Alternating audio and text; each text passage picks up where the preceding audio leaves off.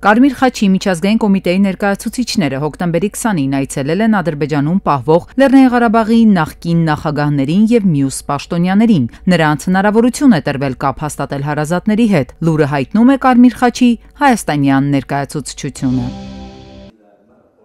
Իր հասցեին ծանր մեղադրանքներ լսող Վագիվ Խաչատրյանը ստիպված էր Բաքվի դատարանում անընդհատ ընդհատել տուժող ներկայացող ադրբեջանցիներին եւ հայտարարել, որ սուտ է։ Ինչ վերագրում են իրեն, իրականության հետ կապ չունի։ Ամռանը Լաչինի միջանցքից առևանգված Արցախցին մեղադրվում է ավելի քան 30 տարի առաջ Մեշալի գյուղում 25 ադրբեջանցու սպանության համար։ Տուժող է ճանաչվել 59 մարդ։ Կարմիր խաչի միջնորդությամբ սրտի վիրահատության համար Արցախից Հայաստան տեղափոխվող Վագիվ Խաչատրյանը հիվանդանոցի փոխարեն արդեն 3 3 ամիս է Բաքվի բանտում է։ Ադրբեջանցիները պատմում են, թե նա ու այլ հայեր սպանել են խաղաղ բնակիչներին։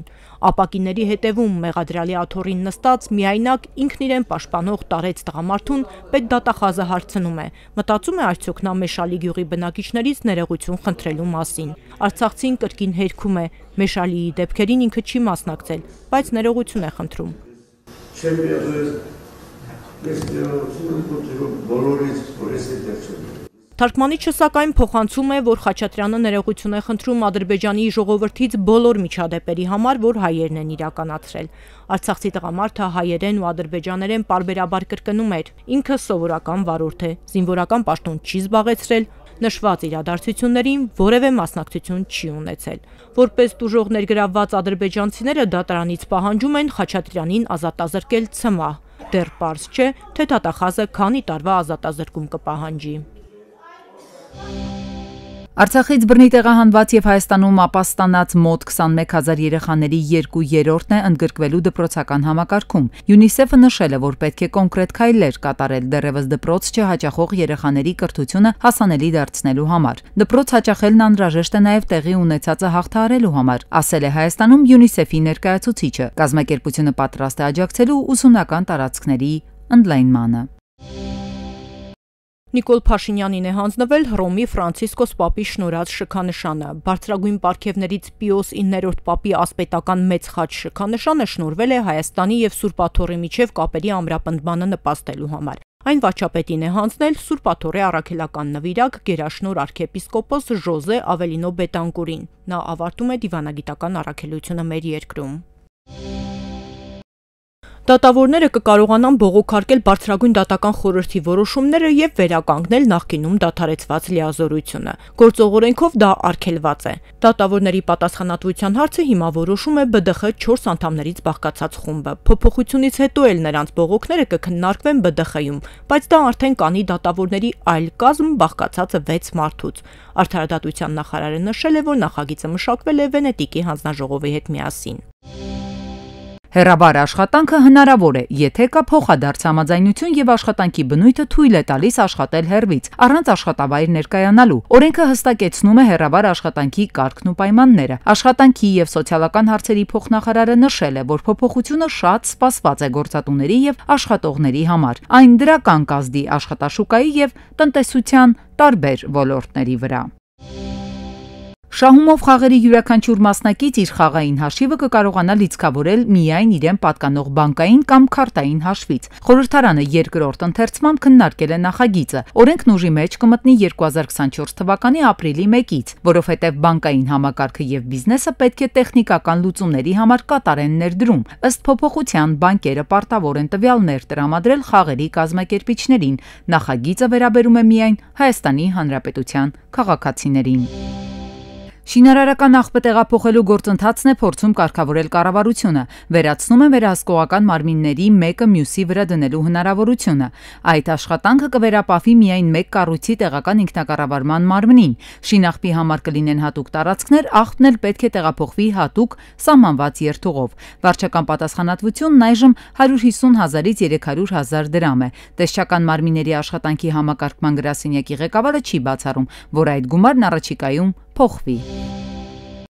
Քաղաքապետարանը փորձում է լուծել կենտրոնի կայանման ու խցանման խնդիրը։ Շինարարության եւ բարեկարգման վարչության պետը հայտնել է, որ կենտրոնի բոլոր մուտքերի համար նախագծվում են ավտոկայանատեղիներ։ Այսպիսի պարքինգներ ենք նախագծում Facebook-ում գրել է Խորեն Գրիգորյանը ցույց տալով նկարները։ Նա կարծում է, որ հենց նախագիծը իրականանա, կենտրոնում այլևս խցանում չի լինի։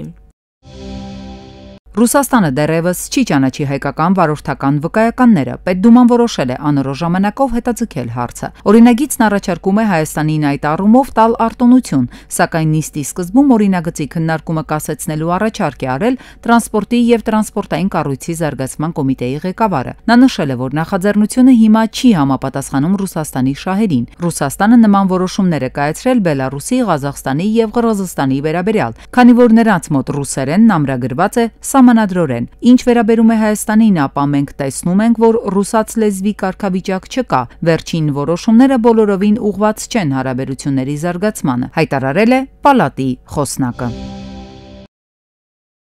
Հարցակման են ենթարկվում iPhone-ի օգտատերերը մեդիափորձագետ Արթուր Պապյանն է զգուշացրել հարցակման նոր ալիքի մասին։ Դարձյալ կիրառվում է Հայփոստի անունը, թեև այս անգամ գրված է Հայաստան Post։ iPhone-ի օգտատերերը ստանում են bit.ly ծառայության կարճ հղում, որը նախ ուղղորդվում է թրեքերով հղումի, իսկ հետո վերաուղղորդվում է արդեն իրական Հայփոստի կայք։ Մեդիափորձագետը շեշտում է, հանցագործները փորձում են մատնահետքավորել հեռախոսը, տեսնել ով եք, որտեղից եք, ինչ հեռախոսով եք մտնում, հավանաբար հետագա հարցակումներում կիրառելու համար։ Հարցակումն իրականացնող դոմենային տիրույթը նոր է գրանցվել, բնականաբար տվյալները թաքցված են։ Էկրանին նշված հաղորդագրությունը ստացած մարդկանց մասնագետն առաջարկում է այցելել Հայփոստի Facebook-յան էջ ու կարդալ հերքումը։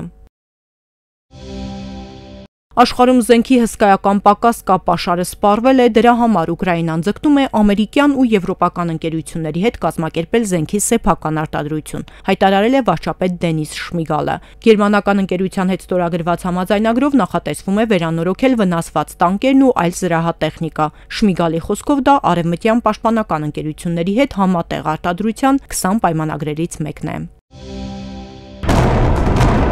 Ընթացող պատերազմն Իսրայելում անվանում են երրորդ համաշխարային։ Ասում են այդ կռվով Իսրայելը կենաց մահու պայքար է մղում արմատական իսլամի դեմ։ Էներգետիկայի նախարար Իսրայել Կացն է նման հայտարարություն արել։ Իսրայելը միշտ ձգտել է իր պատերազմները վարել միայնակ, անգամ ԱՄՆ-ի համեմատ։ Իսրայելին աջակցություն են ցուցաբերում ֆինանսապես ռազմական առումով, ու դա անուրանալի է, բայց մենք պայքարում ենք միայնակ։ Մենք մասնակցում ենք երրորդ համաշխարհային պատերազմին արմատական իսլամի դեմ։ Պատերազմ է ընթանում նաև Եվրոպայի ներսում, արմատական հանրություններում։ Չնայած միջազգային կոչերին ու բանակցելու առաջարկներին Իսրայելը կանգ առնելու մտադրություն չունի։ Զգուշացնում են կռվելու են օթում, ցամաքում եւ ծովում։ Իսրայելը պատերազմելու է բոլոր ճակատներում։ Մենք շարունակելու ենք հարցակվել, եւ դա կլինի մահացու համակցում։ Հարցակումը կիրականացվի օթից, ցամաքից եւ ծովից։ Մյուս կողմից, չնայած Իսրայելից հնչող սպառնալիքներին ցամաքային հարձակումն այնուամենայնիվ ձգձգվում է։ Քաղաքական մակարդակում Իսրայելը պահպանում է երկիմաստությունը, քանի որ Թել Ավիվում ոչ ոք չի բարձրաձայնում, թե իրենք Ամերիկայի Միացյալ Նահանգների ճնշման պատճառով են ռազմական գործողությունները հետաձգում։ Այլ տեսանկյունից էլ Իսրայելը թույլ չի տա, որ վառելիք մատակարարվի Գազայի հատված, անգամ եթե Համասի կողմից բոլոր պատանդարուններն ազատ արձակվեն։ Այս մասին հայտարարել է հրեական պետության վարչապետի գլխավոր խորհրդականը։ Վերջինս շեշտել է Գազայի հատված կհասնի ջուր, սնունդ եւ դեղորայք, բայց ոչ երբեք վառելիք։ Մակին հաջողվել է հանգանակել Գազայի հատվածում եւ Հորդանան գետի արևմտյան ափին պաղեստինցիների հիմնական հումանիտար կարիքները հոգալու համար անհրաժեշտ 294 միլիոն դոլարի մոտ 34%-ը։ Այդ մասին հոկտեմբերի 23-ին հայտնել է Մակի հումանիտար հարցերի համակարգման վարչությունը։ 2023-ի 9 ամսում Վրաստան ամենաշատն այցելել են ռուսները, ավելի քան 1.14 միլիոն Ռուսաստանի քաղաքացի։ Այդ ցուցանիշը 47.3%-ով ավելի է 2022-ի համեմատ։ Երկրորդ տեղում Թուրքիայի, երրորդում Հայաստանի քաղաքացիներն են։ Վրաստանի զբոսաշրջության ազգային վարչության տվյալով 9 ամսում երկիրն ընդունել է 5.56 միլիոն միջազգային այցելու, 3.65 միլիոնը զբոսաշրջության նպատակով։ Բուրջ Խալիֆայի парքի օրերը հաշված են, քանի որ Ռիադը նախատեսում է կառուցել աշխարհի ամենաբարձր աշտարակը՝ Rice Tower-ը։ Նրա բարձրությունը լինելու է ավելի քան 2000 մետր։ Դուբայի Բուրջ Խալիֆայի բարձրությունը 828 մետր է։ Նոր աշտարակը շրջապատված կլինի հեծանվային ուղիներով, արահետներով, հետիոտների համար հարմար փողոցներով եւ մի քանի այգիներով։ Այն կունենա բնապահպանական հավաստագիր եւ կսունուցվի արևային եւ վերականգնվող էներգիայով։ Նախագիծը կարժանա մոտ 5 միլիարդ դոլար։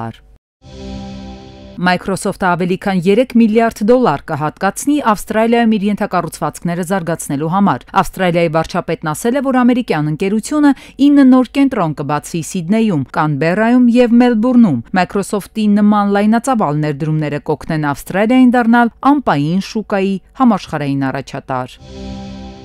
Coinbase բորսայում սփոթային առևտրի ծավալը երրորդ երամսյակում նվազել է 52%-ով։ Այս առևտրային հարթակում թվային արժույթով գործարքների ծավալը նշված ժամանակահատվածում կազմել է 76 միլիարդ դոլար։ Բիթքոյնի բորսաների մեծ մասը անկում է գրանցել։ Սեպտեմբերին հիմնական հարթակներում սփոթ առևտրի ծավալը նվազել է 19.3%-ով։ Առևտրականների ակտիվությունը 2020 թվականի հոկտեմբերից ի վեր ամենացածր մակարդակի վրա է։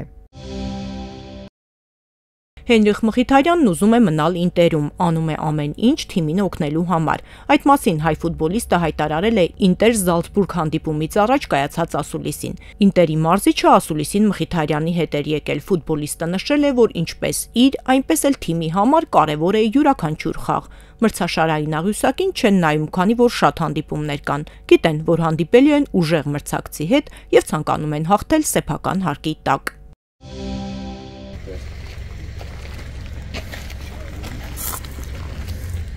Ողբերգական դեպք է տեղի ունեցել Կոշ գյուղում։ Ներքին գործերի նախարարության ոստիկանության աշտարակի բաժին ահազանգ է ստացվել, որ քաղաքացիների կողմից մեքենայով հիվանդանոց տեղափոխվող տղամարդը մահացել է։ Դեպքի վայրում պարզվել է, որ Արագածոտնի մարզի 60-ամյա բնակիչը Range Rover-ով Կոշ քրեակատարողական հիմնարկի հարևանությամբ դուրս է եկել երթևեկելի գոտուց, բախվել գազատար խողովակին ու քարե պարսպին, փլուզել այն, ապա մոտ 1.5 մետր բարձրությունից առաջ ընթացել եւ հայտնվել բնակչի տան տարածքում։ Վարորդին առաջին օգնության են հասել քաղաքացիները, փորձել են տեղափոխել հիվանդանոց, սակայն չեն հասցրել։ Մեքենայում ողրզել են, որ տղամարդը մահացել է։ Դատաբժշկի նախնական եզրակացությամբ դիակի վրա բռնության հետքեր չեն հայտնաբերվել։ Նշանակվել է դատաբժշկական փորձաքննություն։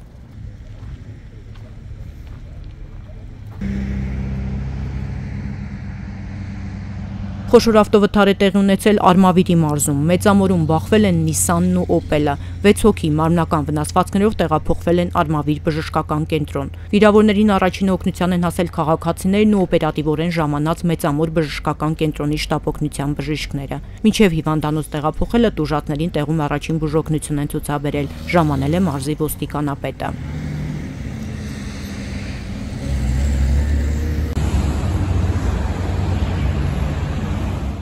Շղթայական ավտովթար է տեղի ունեցել Կոտայքի մարզում։ Երևան-Սևան ճանապարհին ժողովրդին հայտնի Աբովյանի գայի պոստի մոտ բախվել են 4 մեքենա՝ 2 BMW, Hyundai-ին եւ Toyota-ն։ Օպերատիվ են գործել պարեկները։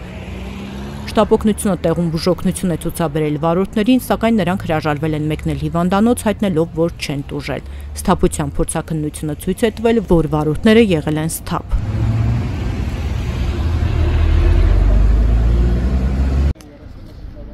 Հերթական ողբերգական դեպքն է տեղի ունեցել Երևանում կառուցվող բազմաբնակարան շենքում։ Փրկարար ծառայության 911 ճգնաժամային կառավարման կենտրոն զանգած քաղաքացին հայտնել է, որ Լենինգրադյան փողոցի թիվ 27 կոտորակ 7 հասցեում կառուցվող շենքի վերելագի հորանուն դիկա, այն դուրս բերելու համար անհրաժեշտ է փրկարարների օգնությունը։ Նմանատիպ ահազանգ է ստացել նաև ներքին գործերի ոստիկանության օպերատիվ կառավարման կենտրոնը։ Փրկարարները վերելագի հորանից դուրս են բերել Երևանի 66-ամյա բնակչի դին։ Տղամարդը 3 օր որոնվում էր որպես անհետ կորած։ Արտաքին զննությամբ դիակի վրա բռնության հետքեր չեն հայտնաբերվել։ Նախաձեռնվել է քրեական վարույթ սպանության հատկանիշներով։